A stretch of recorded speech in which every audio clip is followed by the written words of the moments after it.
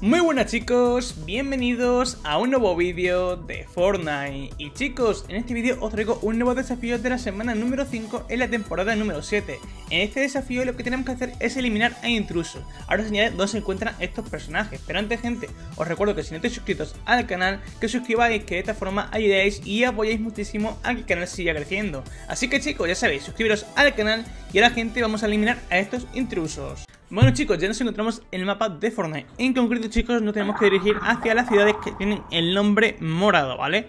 Donde se encuentran básicamente los ataques al extraterrestre, ¿vale? Donde están los platillos de estos volantes que tenemos que atacar para hacer bajar a los intrusos, bajar a los invasores o bajar a los extraterrestres que se encuentran básicamente en ellos, ¿vale? Pues son los personajes que tenemos que eliminar Así que en este caso chicos, vamos a eliminar a este En este caso me han aducido también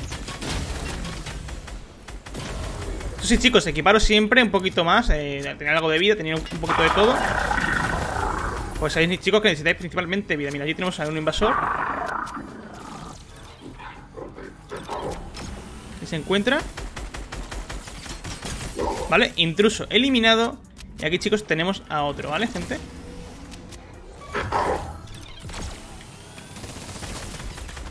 Hola, que deleteado no me ha metido. Vale, pues chicos, ya habremos eliminado y habremos completado el desafío.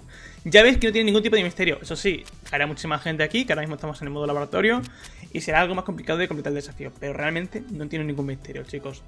Así que nada más, gente, si os ha gustado este vídeo, recordad reventar ese botón de like, suscribir lo que no estéis, y ya sabéis, gente, usad el código sin sangre en la tienda de objetos de Fortnite, que de esta forma ayudáis y apoyáis muchísimo, muchísimo al canal. Nada más, chicos, nos vemos en el siguiente vídeo. Adiós.